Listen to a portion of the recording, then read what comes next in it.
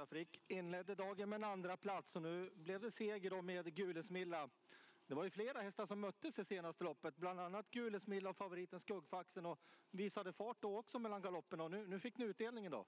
Ja, verkligen. Hon gick fantastiskt fort i, mellan galopperna som du säger. Och om hon bara håller sig på benen så har hon väldigt bra fart i kroppen och det var så roligt att hon fick visa det. Hur upplevde du loppet idag då? Nej, jag hamnade ju i tredje spår så jag var valet och kvalet om jag skulle backa eller köra framåt backade och sen eh, blev det ju bra körning och det tackar vi tog emot och när jag lyfte ut henne i tredje då svarade hon ju väldigt ärligt.